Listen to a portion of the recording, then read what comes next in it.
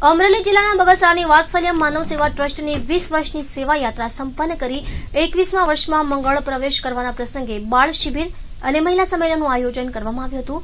બગસરામાં વિશ્વ વાત્સલ્ય માનવ સેવા ટ્રસ્ટની વીસ વર્ષની સેવાકીય પ્રવૃત્તિ બાદ આ સંસ્થા દ્વારા એકવીસમા વર્ષે મંગળ પ્રવેશ કરતા યોજાયેલ બાળ સર્જન શિબિર અને મહિલા સંમેલનમાં મોટી સંખ્યામાં બાળકો અને મહિલાઓ ઉપસ્થિત રહ્યા હતા.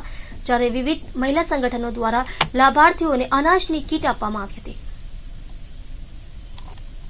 ગાંધી વિચારધારાને વરાયેલી આ જે સંસ્થા છે, કે જે વિશ્વ વાત્સલ્ય માનવ સેવા, આ સંસ્થામાં હું પ્રથમવાર આવી. મને ખૂબ જ ગમ્યું અને અહીંયા જે વિચરતી જાતિઓ માટેની જે કામગીરી આ દેવચંદભાઈ સાવ, સાવલિયા વગેરે બધા કાર્યકર્તાઓ કરી રહ્યા છે, એ ખૂબ સુંદર અને સરાહનીય છે. અને આ કાર્ય મારી દ્રષ્ટિએ તો ખરેખર એવું કહેવાય કે સહી અર્થમાં ગાંધીજીને સાચી શ્રદ્ધાંજલિ છે. કારણ કે જે ગાંધીજી એટલે એક મહામાનવ અને એ મહામાનવની વિચારધારાને આજે સત્યાસી સત્યાસી વર્ષથી આ સંસ્થા એને વિચારધારાને વળગી અને આટલી સુંદર મજાની સેવા કાર્ય કરી રહી હોય, ત્યારે એને સરાહનીય કહેવા માટે શબ્દો હજી પણ ઓછા છે. તો કુટુંબ સંસ્થા જે તૂટી રહેશે, એ આવતીકાલે કુટુંબ સંસ્થા નહીં તૂટે. મારા દેશની મોટા મોટી સવાલ હોય, તો કુટુંબ સંસ્થા તૂટી રહેશે. મારા દેશનું ગામડું તૂટી રહ્યું છે. મારા દેશના ગામડા ખાલી થઈ રહ્યા છે.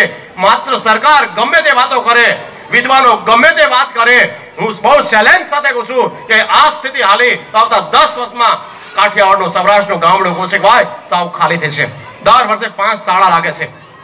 સૌએ જો ચિંતા કરવી હોય હવે કોઈ પણ તીર્થસ્થાન, કોઈ પણ મંદિરો નહીં બાંધવાનો સંકલ્પ કરવા જેવો છે. આ હિન્દુસ્તાનને ભગવાનના મંદિરોની જરૂર નથી. જે છે પૂરતા છે.